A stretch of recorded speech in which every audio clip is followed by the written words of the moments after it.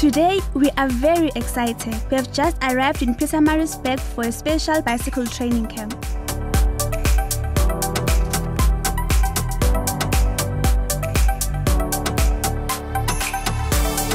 We are looking forward to learning how to become better riders. It is such a beautiful place. Many of us have never ridden in a forest before.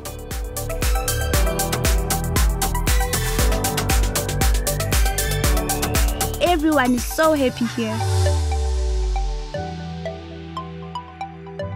Today, coach is teaching us how to test our bikes before we go out on the road. We must check the wheels and tires every time we ride our bikes.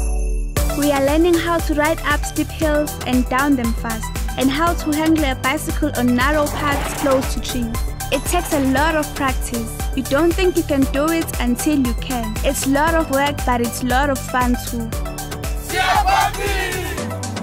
Today we are going to use everything we learned yesterday.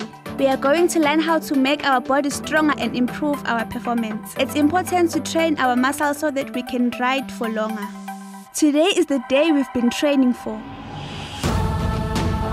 It's the Mandela race, our first proper race. Our team is called Siya Phambili, which means going forward.